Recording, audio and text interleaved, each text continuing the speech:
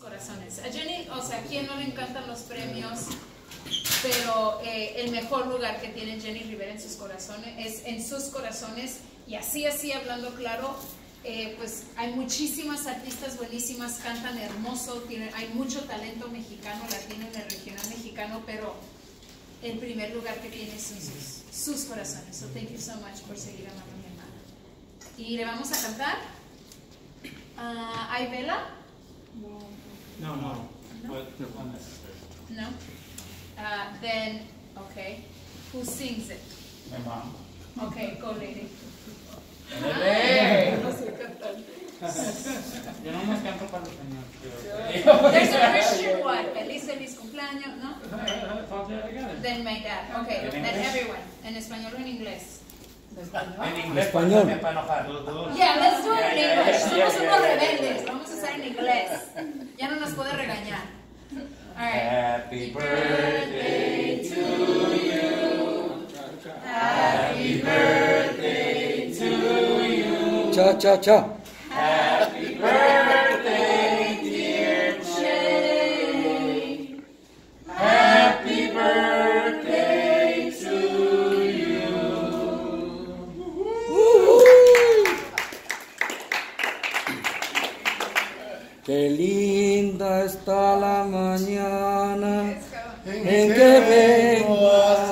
Saludarte. Venimos todos con gusto y placer a felicitarte. El día en que tú naciste, nacieron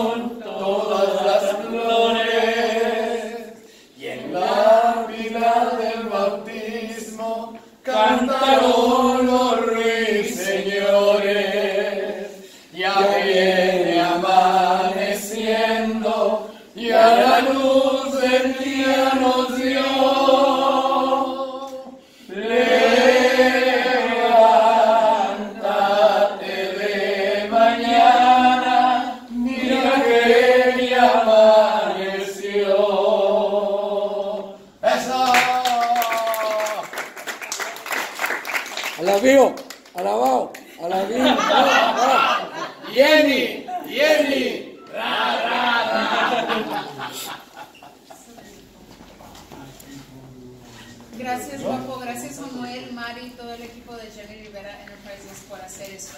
Ustedes, um, o sea, esto, esto literal no lo hacemos nosotros. Esta es idea y creación de todo el equipo de Jenny Rivera Enterprises. Que en verdad no, Juan y yo no pudiéramos, la familia no pudiera.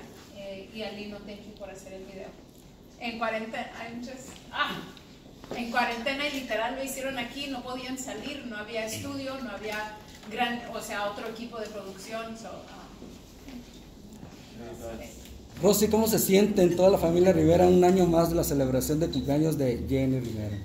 De todo, feliz, triste, ah, de todo, de todo.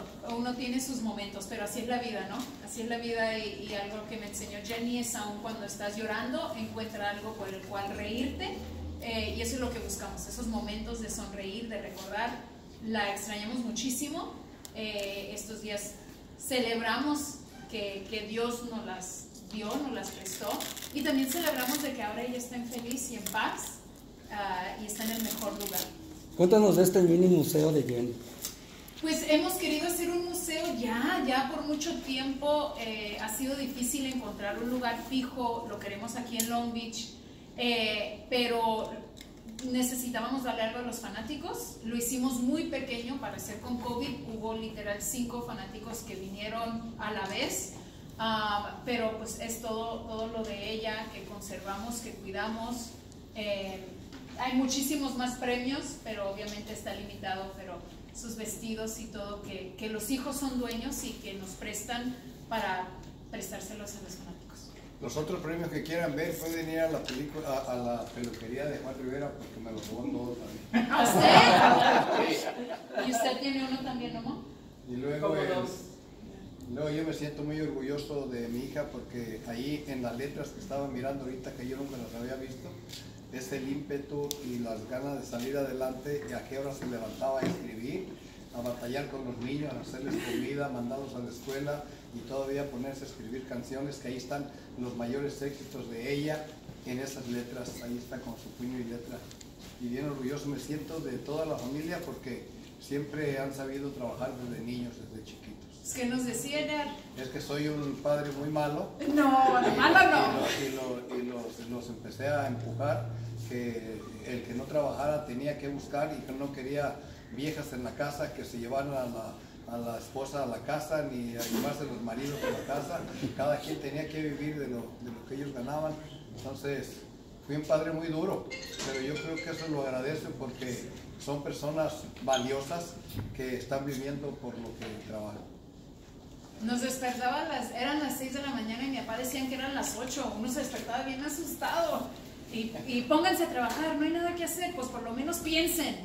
Quiero pentir. Buenos para nada en la casa. Ay, no, de que, que voy a pensar. Ah, Sí, yo me acuerdo que, que cuando estaba Pedro como de 16 años, creo el mayor, y, y les dijo, no quiero verlos sentados viendo televisión. Y decía, pero ya ni ganas me dan de comer. Y no, ya lloraba yo a escondidas y, este, y se llevaba Lupillo a, este, a, a recoger botes y juntaban, vendían muchos botes y o se iban a cortar este zacate las yardas ahí del, barrio. Pero yo lloraba después porque decía, ay, pobrecitos mis hijos, pero tampoco no, no los ah, alcahueteé, no, este, me fui al lado de ellos porque yo sabía que era para bien. Y hablando, hablando de lo que dice Rosamelia, de los botes, cuando, cuando yo llegaba, primero cuando llegaba estaban sentados jugando, haciendo bromas y todo ahí en el sillón. Entonces les dije que ya no quería ver a nadie en la casa cuando yo llegara de trabajar, porque yo me fregaba 8 o 10 o 12 horas diarias trabajando y ellos a todo dar en la yarda jugando. Cuando les dije eso, Gustavo se fue a buscar trabajo a restaurantes. Eh, Pedro empezó a trabajar en Cocos, restaurante creo, no recuerdo.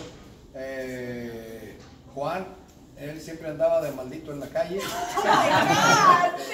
Eh, y luego, ah, Movía mota. bueno, él- bueno, eh, eh, eso puede ser cierto porque él tenía muchas amistades de esas. Eh, eh, hablando, de, hablando de los botes, eh, eh, los amigos, hay veces que son malos amigos. Había un camarada que cuando Lupillo se iba a contar botes, eh, pues él se tenía que meter a los botes así y a, a meterse a sacar los botes, a buscar en la basura. Y un amigo de él le tomó fotos para reírse de él, para tenerlas siempre. Sí. ¿Cómo se llama el amigo? De Pedro. No sé quién es. giro de de. ¿En julio? Efraín. Efraín, sí, Efraín y, y- y- y hacía esto para reírse de mi hijo. Por ahí está la foto. Y pues a mí me da mucha tristeza eso porque sí hay amigos que hacen eso. Y luego cometes el error de llevar a un amigo a la casa y se viene quedando con tu mujer, así que no metan a un hombre, no metan a, no metan a hombres en las casas. Eso, eso es. eh, bueno, el diablo se hizo, se hizo diablo por viejo, no, no por diablo. Entonces, las experiencias son las que hablan. Juanito, defiéndete. No, pues. De la verdad, de que. No, no, no, era no, y luego, y luego, y luego los agarraba hablando así, así en secreto. Y una vez agarré a Juan, a, diciéndole a un camarada a- ahí por teléfono, no sé dónde estaban platicando, y estaban hable y hable. Oye, ya fuiste a la botica de esta fulana de tal. No, y, apenas tenía como siete años o ocho. Entonces, le, y el chamaco le dijo, bueno, ¿y a qué vas a la botica? Es que ahí, ahí venden condoms. and stuff." Chiquillo, ¿eh? Esos son los recuerdos de familia, pero son recuerdos muy lindos y le doy gracias a Dios que son unas grandes personas en el mundo, en el mundo artístico, en, en el entretenimiento, eh, en sacar su vida adelante por su propia mano. Don Pedro, ¿qué otra anécdota, otro- otra travesura de Jenny recuerda? Oh, eh, una travesura que nunca se le había platicado a Rosy, que, que hoy la dije eh, eh, al público, que allí en la casa, en la casa donde, donde vivíamos nosotros, que yo creía que era un caserón bien grandote y es una casita chiquita, entonces, pero como yo no tenía experiencia, eh, eh, que ahí donde estaban platicando ellas afuera, cuando yo salía, iba a salir de mi, de mi recámara, y, oí que estaban murmurando. Entonces oí a Jenny que le dijo a, a, a Rosy, eh, una vez, Mi papá quiere que le grabe un corrido, que le grabe un, un, un- un disco de corridos de caballos. Fuck the horses, dijo. Entonces, esas son las cosas que, que oye uno, ¿no? Los papás, y pues salen a, salen a la luz porque tienen que salir, porque los chamacos así son. O sea que los hijos de ustedes, los hijos de toda la gente, yo creo que saben muchas más cosas que lo que sabemos nosotros. Así que no debemos de asustarnos, porque yo nunca había dicho esas cosas, pero es como ha sucedido, es como ha pasado. Cada uno tiene sus anécdotas, cómo eh, se inició Lupillo, cómo salió Lupillo adelante, cuánto batalló, cuánto batalló Jenny.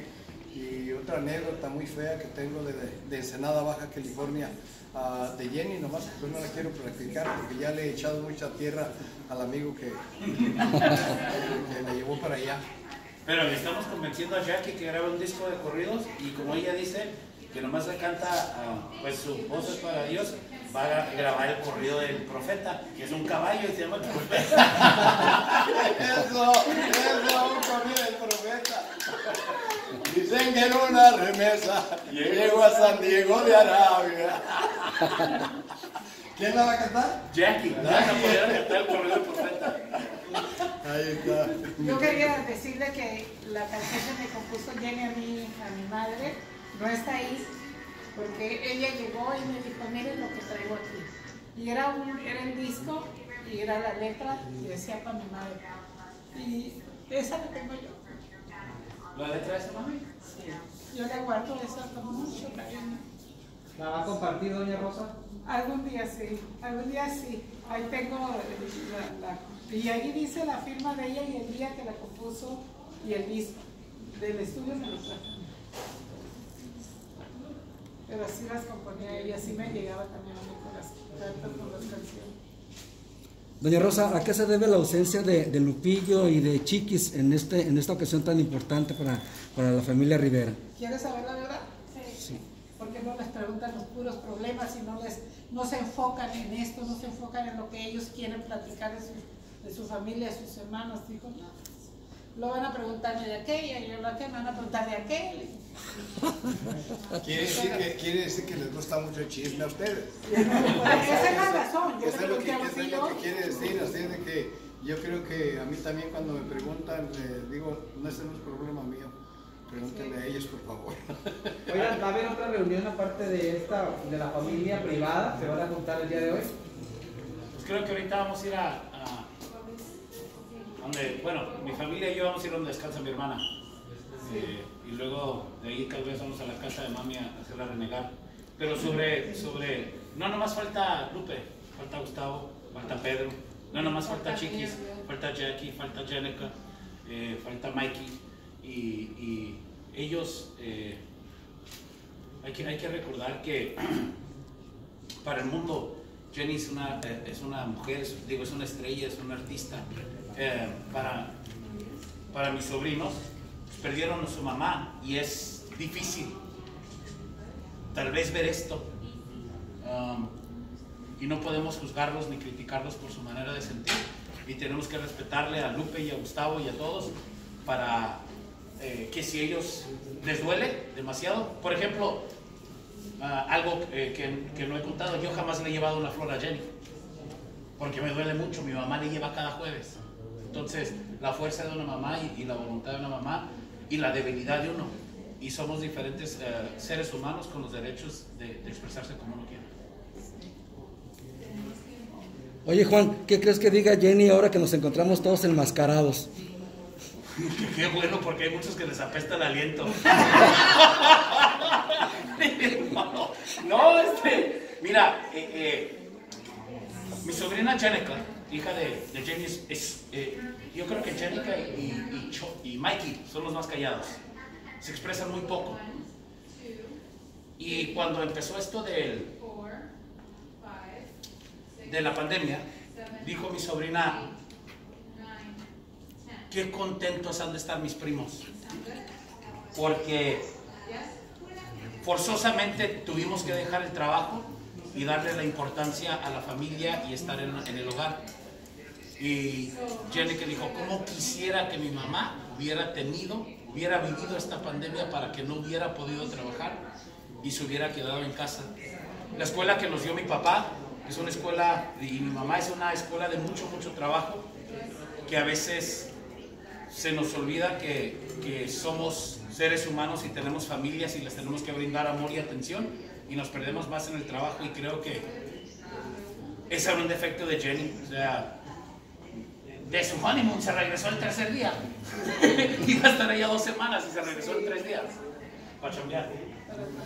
No, pero gracias a Dios son felices, son felices porque siempre fui muy duro, pero siempre estuve al pie de ellos hasta que se hicieron responsables y yo creo que ellos, ellos nunca sintieron todo lo pobres que éramos.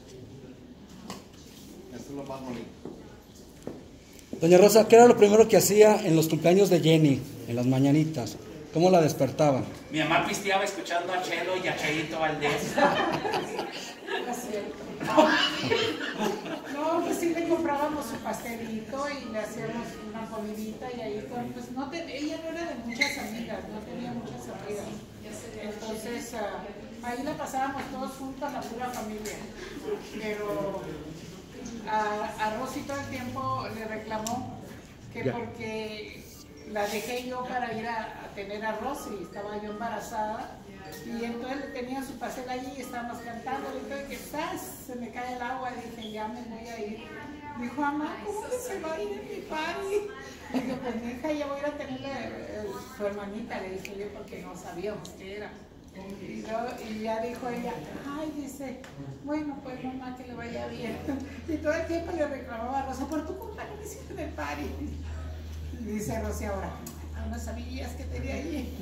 Pero sí, sí, sí, le- ella tenía 12 años. estábamos, cum- estaba cumpliendo 12 años. Gracias muchachos. Nos tenemos que retirar ya.